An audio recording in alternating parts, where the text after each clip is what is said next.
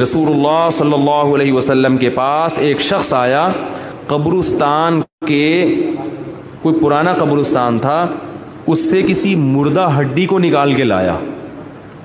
मुर्दे जब कब्र में जाके हड्डियाँ बन जाते हैं ना तो वो आया, एक पुरानी बोसीदा हड्डी निकाल के मोहम्मद सल्लल्लाहु अलैहि वसल्लम के पास लेकर आया। और कहने लगा कि आप ये कहते हो कि हम जब मर के ख़त्म हो जाते हैं तो एक दिन आएगा, अल्लाह इन मुर्दों में जान डाल के दोबारा ज़िंदा करेगा। देखें, अगर मरने के बाद दोबारा ज़िंदगी का कंसेप्ट नहीं है, या नहीं मानना तो फिर इन तकल्लुफ़ात की क्या ज़रूरत है? टोपी और जुम्मे की नमाज़ और ईद की नमाज़ और रमज़ान और शवाल ये क्या तकल्लुफ़ात की ज़रूरत क्या है? मैं मुसलमानों से एक बात कहता हूँ, भाई देखो, जो मेरे बयान सुनते हैं, कि या तो पूरे गोरे बन जाओ, या पूरे मुसलमान बन जाओ। अगर आखिरत नहीं है तो जो हमने थोड़ी बहुत टेंशनें पाली हुई हैं इस्लाम की वजह से कुछ तो हदबंदी है ना हमारी। वो हदूद भी क्रॉस कर देना चाहिए हमें। जब दुनिया में हम आए ही इंटरटेनमेंट के लिए हैं लाइफ को एंजॉय करने के लिए आए हैं तो फिर तमीज़ से एंजॉय तो करें ना। और अगर आखिरत है तो जितना हम इस्लाम से दूर हैं, उतना फिर दूर क्यों हैं हम? पूरे इस्लाम में क्यों अगर इस्लाम सही बात कह रहा है तो फिर पूरा इस्लाम सही होगा ना? आधा तो सही नहीं हो सकता।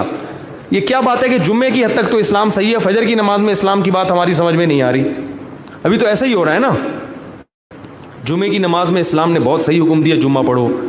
फजर भी पढ़ो, ये वाला इस्लाम का हुक्म मेरी समझ में भाई बोले ना, लोग यही कहते हैं ना, यार ये नहीं समझ में आ रहा। तो भाई अगर फजर पढ़ना गलत है तो फिर जुम्मा पढ़ना भी गलत है, ईद पढ़ना भी गलत है। और अगर जुमे की नमाज़ पढ़ना दुरुस्त है तो फिर इस्लाम ने जैसे जुमे का हुक्म दिया, वैसे ही फजर का भी तो हुक्म दिया है ना इस्लाम ने कि फजर की नमाज़ भी पढ़ो जमात से आके। बात यह कि कॉन्सेप्ट ही क्लियर नहीं है हमारे, हमें पता ही नहीं है कि हम हैं क्या। हम चूँकि मुसलमान घराने में पैदा हो गए तो जितना कल्चर इजाज़त देता है इस्लाम को फॉलो करने की, उतना तो हम कल्चर की वजह से इस्लाम पे चल रहे हैं। जहाँ कल्चर रुकावट बनता है, वहाँ फिर कल्चर पहले है और इस्लाम बाद में चला गया। तो वो शख्स आया रसूलुल्लाह सल्लल्लाहु अलैहि के पास, पुरानी बोसीदा हड्डी लेकर और कहने लगा कि मई युहिलमा वही रमीम ए मोहम्मद अलैहि वसल्लम, ये हड्डियाँ जब बोसीदा होके, सड़ के, गल के ख़त्म हो जाएँगी तो भला ये कैसे दोबारा ज़िंदा होंगी? आज तक हमने किसी हकीम डॉक्टर को ये बात करते हुए बोले, ना यार, नहीं सुना। हमने तो सुना ही नहीं ऐसा कभी। हकीम जालेनूस भी गुज़र चुका है और बड़े बड़े आए हैं, दवाइयाँ बना के गए हैं दुनिया में। किसी ने आज तक ये नहीं कहा। सब यही कहते हैं कि मौत का कोई हल, मौत के बाद ज़िंदगी नहीं है।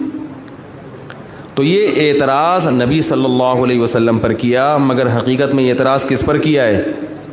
अल्लाह पर, जिसने बनाया है। क्योंकि वो ये कह रहे हैं कि मैं ज़िंदा करूँगा। नबी ने थोड़ी कहा कि मैं ज़िंदा करूँगा।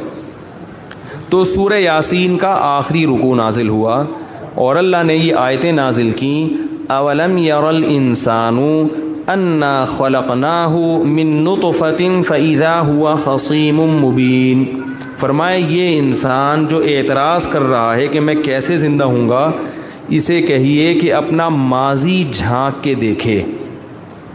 एक गलीज़ मनी का कतरा था नापाक। अल्लाह ने उसी पानी के अंदर आँख, नाक, कान, दिल, दिमाग, जिगर, गुर्दे, फेफड़े, कलेजी, क्या क्या बना दिया आंतियाँ, दिमाग और ये सारी चीज़ें मशीनरी फिट करके इसको दुनिया में भेज दिया। और ऐसा भेजा है कि पानी से बना हुआ इंसान, एक गंदे पानी से बना हुआ इंसान डिबेट कर रहा है, बहस कर रहा है। क्या कह रहा है? मई युहिल अवाम वही रमीम भला मैं मर जाऊँगा तो कौन है जो मुझे ज़िंदा करेगा दोबारा? वबरबलना मसलन। फरमाया, ऐसा बन गया बहस करने वाला कि बनाने वाले पर उंगलियाँ उठा रहा है एतराज़ कर रहा है। ये ऐसे ही है जैसे कोई फ़कीर हो ना। इधर तवज्जो है ना आप लोगों की? भाई, एक फ़कीर है, गरीब है, खाने को रोटी नहीं थी। कुछ भी नहीं था उसके पास।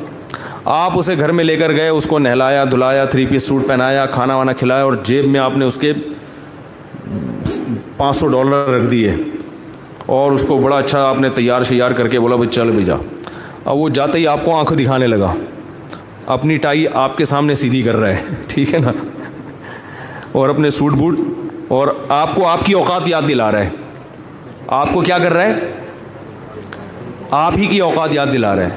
आपको आपकी गाड़ी के पुराने होने का ताना दे रहा है। अबे तुम पुरानी गाड़ी में घूमते हो तो आप बोलेंगे ना कि ज़रा अपना माजी झाँक के देख। तू चिंची के, चिंची होती है यहाँ पे, समझते हैं लोग? तू चिंची के, वो चिंची होती है रक्शे टाइप की एक चीज़।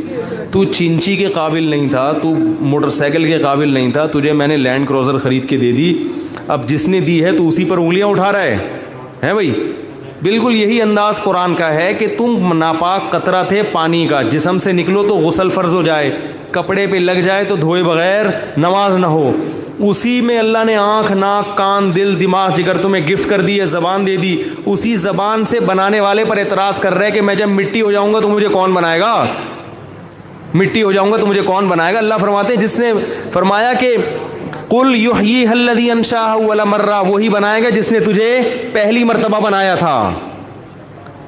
पहली मरतबा उसने पानी से बनाया, इसलिए अपनी कुदरत दिखाना चाहता है। इससे ये साबित नहीं होता कि वो इसी तरह से बना सकता है। वो तो एक तरीक़ा उसने दिखाया है। वह हुआ बिकुल्ली खलकिन अलीम, जो इस तरह से बना सकता है, वो दूसरे तरीक़ों से भी बना सकता है।